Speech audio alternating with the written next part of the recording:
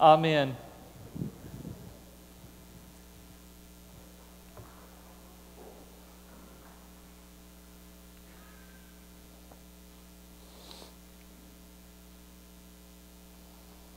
May the words that are heard be thine and not mine. In the name of the Father, and the Son, and the Holy Spirit. Amen. From our New Testament reading, the message of the cross is foolishness to those who are perishing, but to us who are being saved, it is the power of God.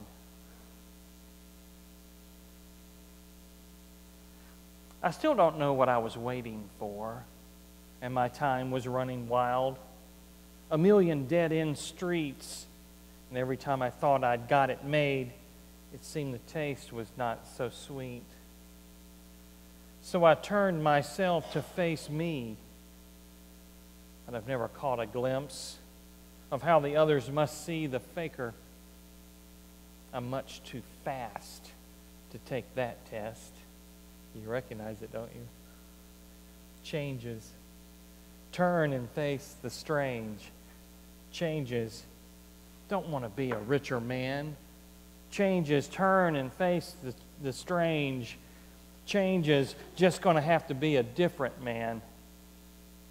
Time may change me, but I can't change time.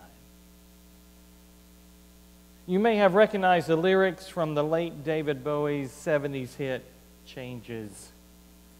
They suggest a realization one discovers, usually later in life, that the superficial framework, before deemed so critical, is actually less significant, less important than a deeper pursuit, a quest for the more essential need in life it requires changes changes of focus and intent on many different and emotional and spiritual levels. Changes. And most aren't real fond of those.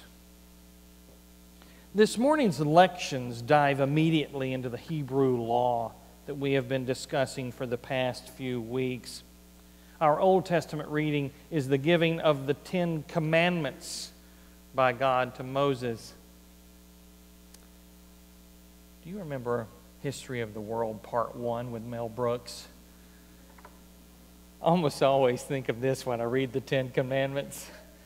It's ruined it for me in a, a lot of ways. So he's coming down the mountain with the three tablets, right? And he missteps because, you know, that would be classic Mel Brooks and he drops one of the tablets. He says, I give you the 15, Ooh, the 10 commandments.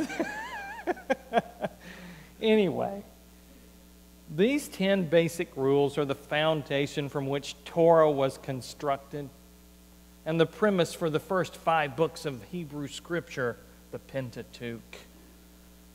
From this collection comes the basis of what it means to be Hebrew or Jewish.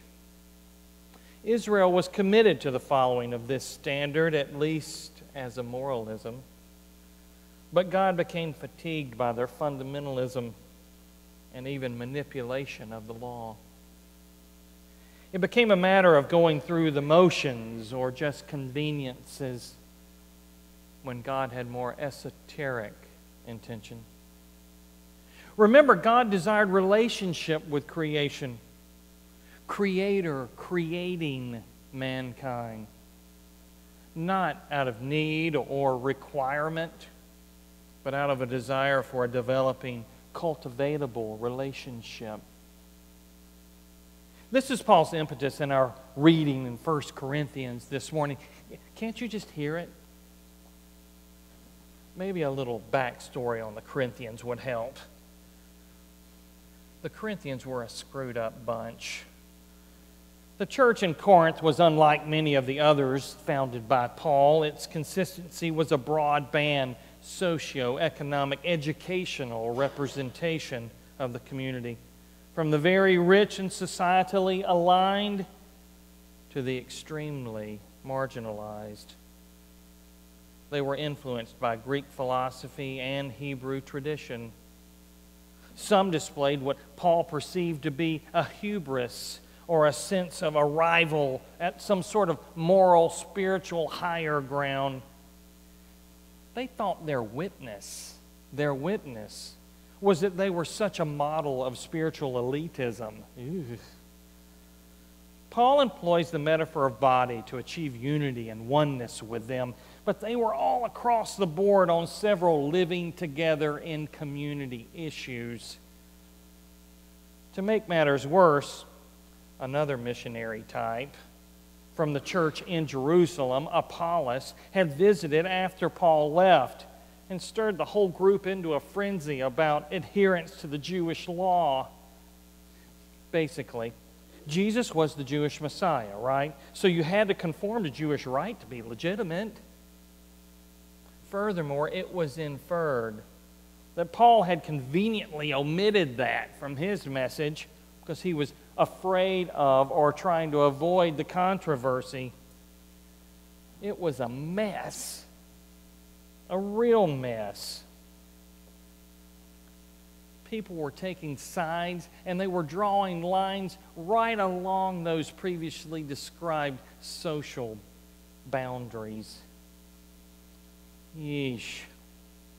Sounds a lot like the bickering in today's church over administrative and functionality points of issue. They were seeing a lot of trees, but they were missing the forest. Paul suggests that all of the structure and tradition and liturgy and doctrine and policies and the way we've always done it, Father Chris, they're not the main thing.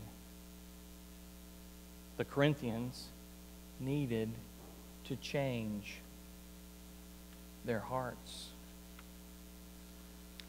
Paul describes this ideal as foolishness to those who are perishing. Now, perishing isn't intended in a physical sense, but more of a spiritual stagnating or decaying, as is the case with any organism or culture or structure that reaches a certain stage only to cease progressing.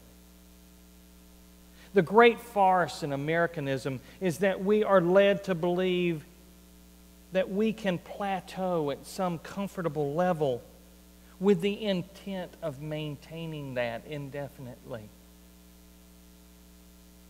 It simply is not the case. When we stop searching, when we stop seeking, or think that we have arrived, we are most likely digressing. My dad always used to say, if you're waiting on me, you're backing up. The Corinthians were backing up. They were caught up in the minutiae of being church, not becoming the body. Diane Butler Bass refers to it as a great awakening. Christian Wiman calls it his bright abyss, while Richard Rohr prefers the analogy of falling upward. All of us must, must reach a point only after we have established the container of our lives. The container being this structure that consists of our so- social, professional, family, religious, financial, all of those frameworks. After which we come to understand a need for a greater sustenance. That's what fills the vessel. All the other is necessary, critical. I mean, it's why you have life insurance, right? But it only constructs the, con- the, the container. It's like the caterpillar's cocoon. The deep becoming need still to occur. It's what was intended from the beginning God creating mankind. It's the eighth day of creation, becoming within. Now, Paul isn't throwing out the rules. I mean, Torah was necessary. Can you imagine a society where you could just murder and lie and cheat? No way. basic reason or being created in God's image, imago Dei, that tells us that.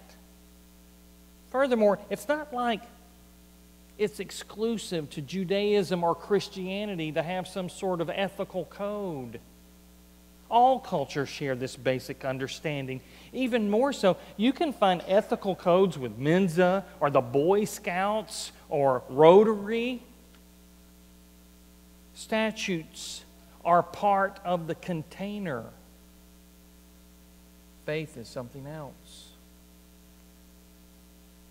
Did you notice how ticked off Jesus was today in the temple? Yes, he was mad about turning the narthex into Walmart. But to a greater sense, he was frustrated at the shallow application of their faith.